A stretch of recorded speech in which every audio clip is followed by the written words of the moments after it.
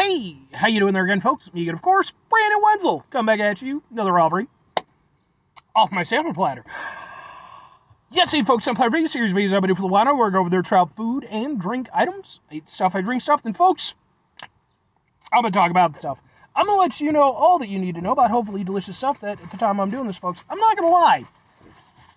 Blah. Blah. I got some nasty stuff in my throat from work, so I might occasionally have to go over there and cough a little bit, clear out the throat and stuff. It's, it's, it's gnarly stuff, folks. Just trust me. if you can avoid it, I would suggest not working with industrial paints and solvents.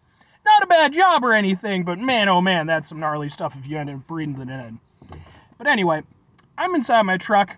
I'm wearing my grody work clothes. Typically, when those two things coincide, that means that I was on my way home from work and I found some shit to review for you.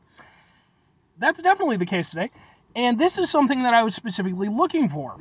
Uh, there's a another review channel which I've certainly brought up on any number of occasions called Nathan's Fast Talk Food Reviews. And uh, I definitely recommend his channel and his reviews, especially if mine are maybe a little bit too long winded. His are very concise, very to the point. They're usually like three to five minutes or so. but, uh, you know, I do follow his channel, and occasionally he'll come up with items that I'm not aware of. You know, as much as I try to keep up on things, sometimes I miss stuff. I definitely missed this one, and as soon as I became aware of it through his channel, I didn't watch the review though because I was like, all right, I could, you know, that way I can have my own review, not be biased. Boom! It's Arizona. Ooh, let's see, it's Arizona extra sweet Tropsicle juice cocktail. It's Rocket Pop, red, white, blue, Rocket Pop. can we get like a, a good thing? I don't maybe uh, uh, something like that. But anyway, so I think I've only ever maybe reviewed one other Arizona thing, if I'm honest.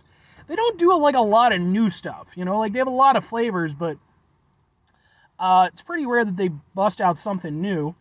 I think I did their red tea. I want to say was the one time when I reviewed something from them. But I like Arizona. I actually drink uh, the uh, diet green tea. That's like one of my go-to drinks. So this, I mean, we're past the 4th of July now, but, you know, sure, why not America, all that good stuff.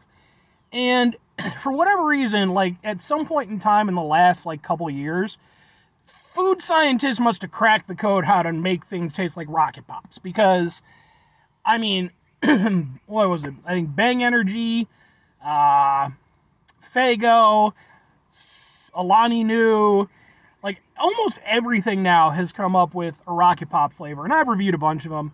So Arizona's kicking in. That's fine. It's Thirsty 30. Celebrating 30 years. Okay. They weren't just like, ooh, getting thirsty. Let's open it up. I was a little bit disappointed.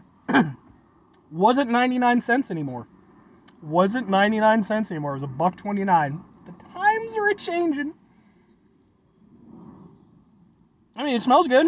It smells like a juice cocktail. But let's see if it tastes like a Rocket Pop.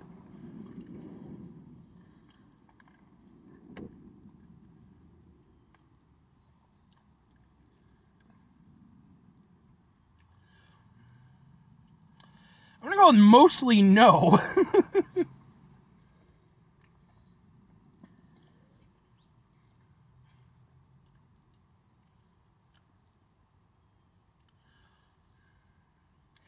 I'm not getting much of a rocket pop flavor. I mean, it's kind of a kind of a fruit punch flavor, honestly. Which I mean, and I've mentioned this before with like other reviews with like rocket pop flavored stuff. There's basically one of two ways you can try to make the rocket pop flavor. Number one, you can go over there and you can try to create it in such a way where you actually get three distinct flavors. You get like the cherry, the blue raspberry, and then the lemon and or lime, depending on what you go off of. Some have done that and to varying levels of success. Most seem to go with the option where they try to make it taste like what a rocket pop tastes like when it's melted and all the flavors are fused together. I think this is more what they're going for with that because I don't feel like I'm getting like three distinct flavors. It just feels like it's kind of a juice cocktail sort of fruit punch thing, just maybe with like a focus more specifically on something vaguely similar to the flavors of Rocket Pop. It's good. I like it, but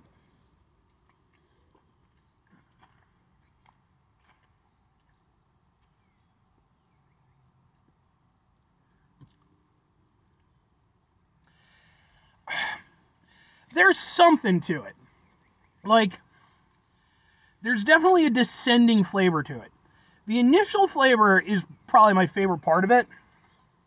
It has like a nice, I would say it has like a like a cherry aid kind of flavor to it. Like it has like sort of a cherry, not like a straight cherry flavor, but like a, a cherry cocktail, you know, juice cocktail kind of flavor. So doesn't really taste like natural cherry or anything like that, but it has like that nice sweetness to it, just a little bit of a bite.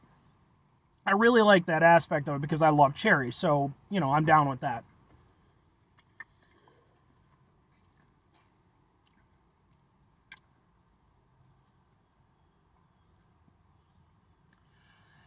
I, I mean, the more I drink it, and maybe it's just me searching for it, the more I drink it, the more I can see what they're going for with it there is something to it. The problem, I think, fundamentally, is that I don't think Arizona is the best vehicle to make something taste like a rocket pop. Because, I mean, for one, like, you know, if you think about all the rocket pop stuff, they've either been sodas or energy drinks.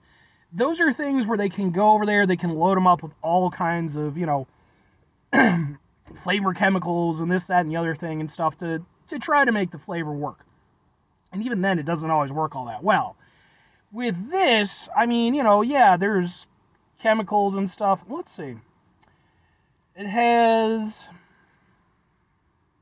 total sugar is 24 grams, so it's got a fair amount of sugar in it. Uh, also has high fructose corn syrup.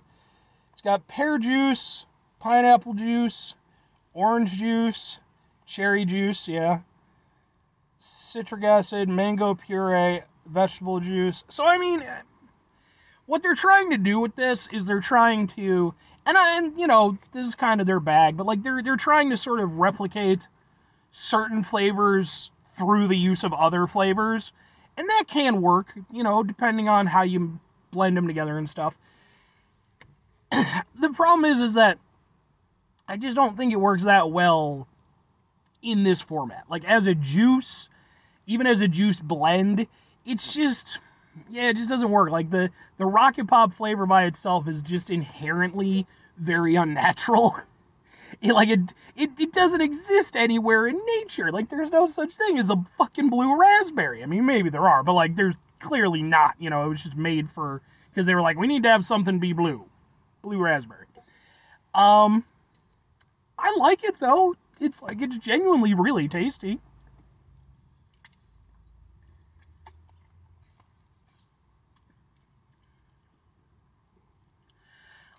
And yeah, the one thing I'm surprised that they didn't do, and obviously I'm not a scientist at Arizona making up their flavors, I'm surprised that the only thing citrus that they used was orange. I'm surprised they didn't try to go for like a lemon or a lime to to kind of give it that little extra bite because like that's for me, you know, it's part of the fun of the rocket pop. You know, you got the the sweetness of the cherry, then you got you know a little bit of a tartness of the um, the blue raspberry, and then you got the nice citrus hit, you know, at the bottom with the, the lemon or the lime. But I like it. I think it's really tasty.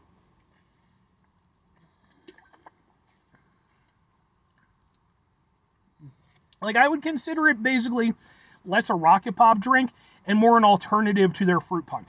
Which I really like their fruit punch, but like this, it's kind of nice as like as like a secondary option because it like I said, it's more cherry forward, and I like cherry, so I like that aspect, and I like the juice blend that they came up with for it. So, two questions I have to be asked: Would I get it again? Would I recommend it? Yes, kind of. I would get it again, but not because I think it particularly tastes like a rocket pop. I think it's just tasty, and I think that that's perfectly okay.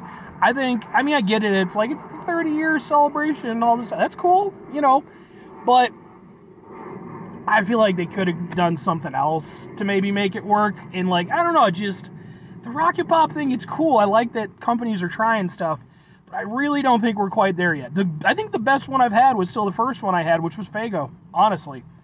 Even Mountain Dew, uh, you know, their one was like it was okay, but I didn't really feel like it was that good at replicating the flavor. Um, Arizona, Zool love them. They tried, but I just I don't think it worked quite that well as a rocket pop flavor. But as just a juice blend, it's good.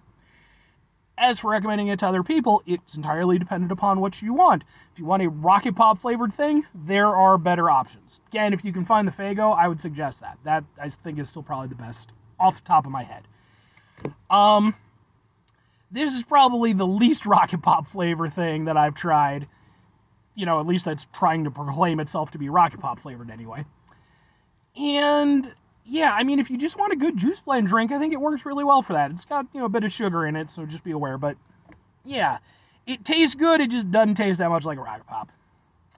But anyway, five things before I get out of here. Have yourself a great rest of your day, spectacular rest week, my tourist month, Spanish rest here, folks. You can go over there and have yourselves a truly happy 4th of July, belated 4th of July tastic rest of your life. Like, I was thinking about doing a 4th of July special, but then, like, 4th of July kicked around, and I was like, I'm sleepy. and I just slept a lot.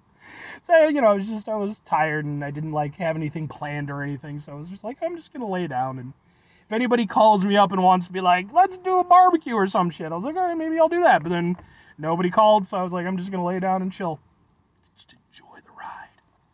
Final two things. Number one, try to bring some positivity in the world as always possible.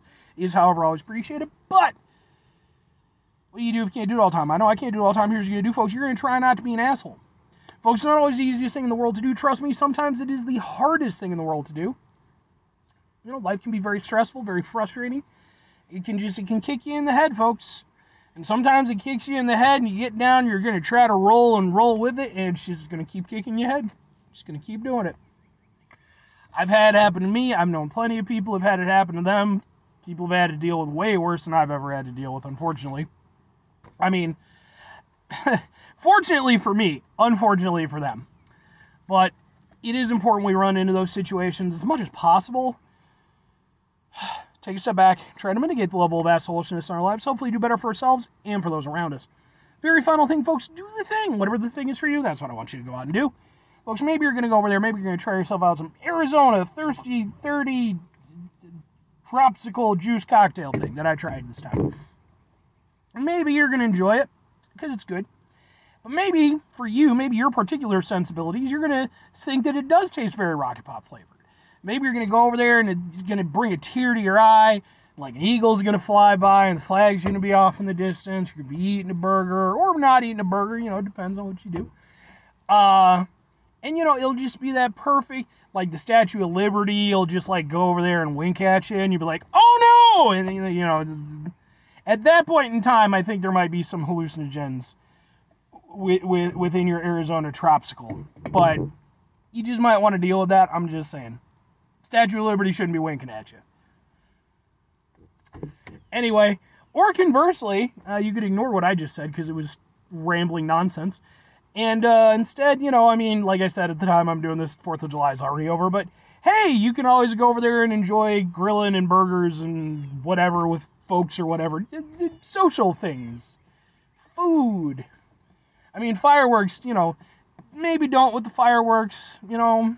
I'm just saying, you know, a lot, you know, pets, and obviously there's people who have issues with this stuff. Let's try to keep that relegated to the the Fourth of July specific kind of you know season. You know, maybe Independence Day. Bye.